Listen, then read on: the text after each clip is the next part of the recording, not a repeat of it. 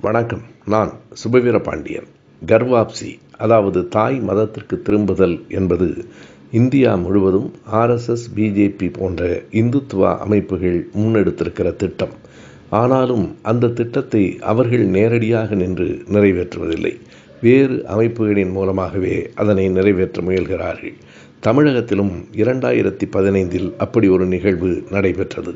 இரண்டாயிரத்தி பதினைந்து ஜனவரி முப்பத்தி ஒன்றாம் தேதி சென்னை தியாகராய நகரில் இருக்கிற காஞ்சி சங்கரமடத்துக்கு சொந்தமான ஓர் இடத்தில் பதினெட்டு பட்டியலின மக்கள் கிறித்தவ மதத்திலிருந்து இந்து மதத்திற்கு மாற்றப்பட்டார்கள்.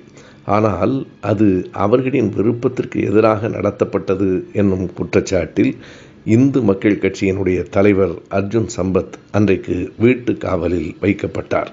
ஆனாலும் இரண்டாயிரத்தி பதினேழாம் ஆண்டுக்குள் ஒரு லட்சம் பேரை தாய் மதத்திற்கு அழைத்து வருவேன் என்று அவர் அன்று சபதமிட்டார். எதுவும் நடக்கவில்லை. இப்போது புதிதாக சிலரை அவர்கள் உருவாக்கி இருக்கிறார்கள். தாய் மதத்திற்கு திரும்புவோம் என்னும் குரல் மறுபடியும் கேட்கிறது. நன்றி. வணக்கம்.